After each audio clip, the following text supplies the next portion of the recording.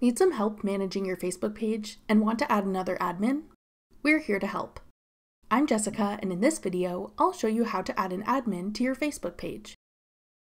Now let's get started.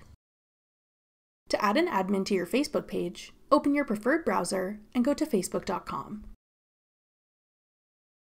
Log into your account if you haven't already.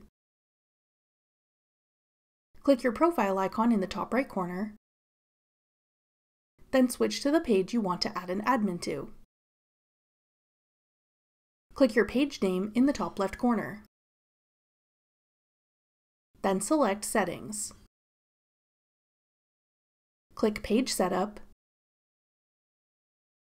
then Page Access. Beside People with Facebook Access, click Add New. Click Next. Then type in the name or email address of the person you want to include as an admin. Click the person you want to invite when they appear in the search results. If you only want this person to have partial control over your page, click Give Access.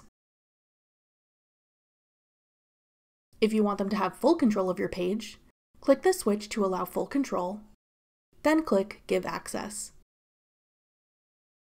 For security purposes, type in your Facebook password, then click Confirm.